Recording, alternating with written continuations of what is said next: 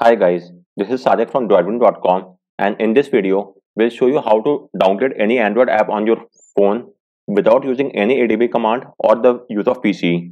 So the entire steps would be carried out on your phone itself. So as you might be aware, if you want to downgrade any system app on your phone, then you will have to use the ADB shell command and as well as a few commands to install the app as well. So first you have to use the ADB shell command to remove the app using these two commands and then you'll have to install the APK using the ADB install d parameter or the ADB install stream command. But using a nifty workaround, you could bypass all this limitation. That is, you do not require to execute any ADB command, and in the process, you will not require the use of the PC itself. The entire downgrade of any system app will be carried out right from your phone itself. However, there exists just one limitation with this method, and that is you will need a rooted phone. Yes, you will have to root your phone beforehand. If that's well and good, then let's get started. So first off, please root your phone via Magisk. I have made a detailed guide and a video on the same. You could refer to my guide or the video on how to root your phone. Once you have done the root, you should get the Magisk app. As you could see from here, it's the Magisk app. So in my case, I have renamed the Magisk app to Droidwin because I have hide root from my device. In your case, if you have not done so, then the name would be Magisk itself and you should also see the app icon. In my case, I've hidden the root to pass 15 it. So that is why it's showing as Droidwin and the icon has been removed. In your case, it will be Magisk itself. So once you have installed Magisk and your phone is rooted, you will now have to install the LSPosed app. For the unaware, the LSPosed is the older version of the Xposed framework that you might be aware of. So you could install this app up to Android 13 or any version below that. So for that, you will first off have to enable Zygisk. So to enable Zygisk, launch the Magisk app, tap on the settings icon, then enable the toggle next to Zygisk, and then you have to restart your phone. So enable the toggle Zygisk next to Zygisk and restart your phone. After restart, launch the Magisk app and make sure it's showing yes next to Zygisk. As you can see in my case, it's showing yes next to Zygisk. With this, we have enabled Zygisk. So now you have to download the LSPosed app for the Zygisk version itself. So just go to its GitHub link and then go to the release section. And under release section, you should see the file under assets. So make sure you to download the Zygisk release file, LSPosed Zygisk release zip file, and send this file to your phone. Once you have sent this file to your phone, we will now flash this file via Magisk. So let's do so. So for that, you have to launch the Magisk app, go to modules, then tap on install from storage. And now you have to select the LSPosed, which was of the Zygisk version. So this is the file in my case. I made the selection and it will now flash the file. Once the flashing has been done, just tap on reboot. So uh, you might notice that the steps are quite long, but do keep in mind that these are just the initial one-time steps. From the subsequent time, you will not have to perform these steps. You could directly perform a downgrade on your phone right away. This is all these steps of installing the LSPosed app and then installing one more app are just for the first time usage. From the subsequent usage, you will not have to carry out any task whatsoever. You could directly downgrade the app from your phone itself.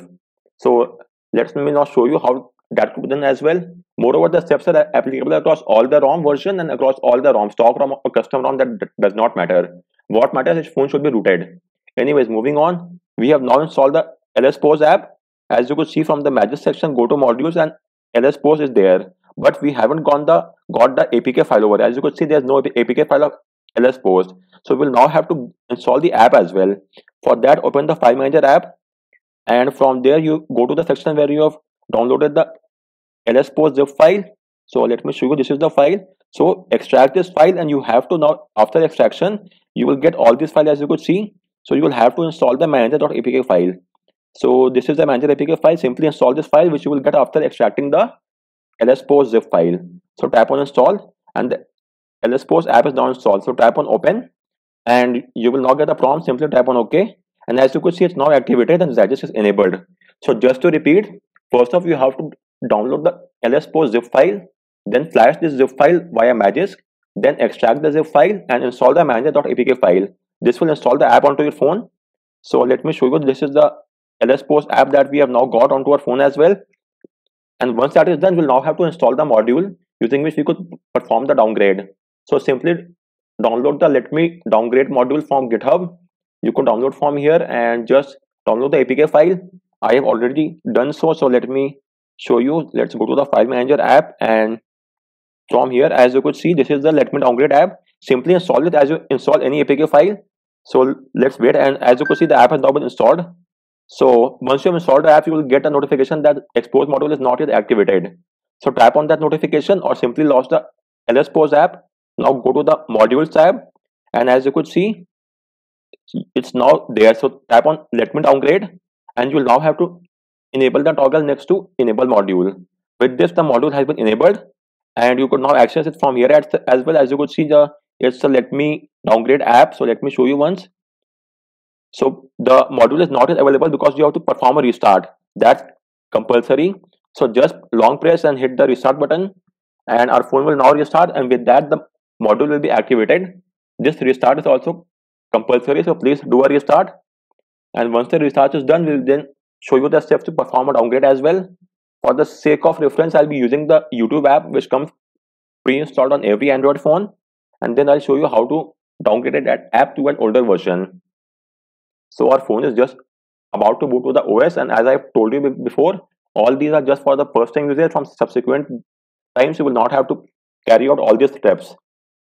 So anyways, we have now installed the module and once the module has been installed, there will be no UI of the module as well. You could easily enable the module just by going to the notification panel and from here you could see that the app downgrade toggle has been added. So just tap on it and the module is now enabled. As you could see from here you could also place the pencil icon and change its location and bring it in the front as well if you want. And then hit the back icon. As you could see we have now got the app downgrade on the front page. So make sure to tap on it and now it's showing us on so with this we are done with the setup and from now onwards you could downgrade any system app on your phone without the need to use any ADB shell command.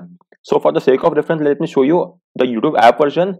Currently i'm using the latest app version which is version 18.11.35 so as you could see from here let me now show you the app version as well. So if you go to play store and search for the youtube app you could see it's the latest version 18.11.35 but has just been launched. So it was launched just a few days back as you could see from here so we will now downgrade the app to an older version. So we have downloaded the apk file of the app as well. Please make sure to download the app from a trustworthy site so in our case we have downloaded the app which is of version 18. Point, let me show you which is a version of 18.08 so let me show you the complete version. Just a minute. So let's check out the complete version of this file. So if you go to file info you could see it's a 18.08.39 so currently i'm having the app version which corresponds to 18.11.35 and now i'll do a downgrade to 18.08.39 so you don't have to do anything. Just tap on the install button and the, you will now get a prompt to update the app. That's completely normal. Just tap on update. And with this the downgrade is now complete. So let me show you the app is currently being installed and as you could see the app is now installed. So if we now check out the results so go to the app info page and as you could see we are now back on the 18.08.39 so earlier we had the version of 18.11.35 and now we are down to the version of 18.08.39 in the subsequent way you could now downgrade any system app from your phone without the need to execute any ADB shell command. All the we did just to repeat, so you have to make your phone rooted, then install the LSPosed app, and after that install the Let Me Downgrade app. Once you install the Let Me Downgrade app, there will be no UI. You just have to enable this toggle, and after that, just download the APK file of your choice and simply install it, and it will be downgraded, as I've shown it with the YouTube app. So guys, on that note, I round off this video. If you have any queries, do let me know in the comment section and please like this video and subscribe to the channel for more tips and tricks. Thanks a lot for watching.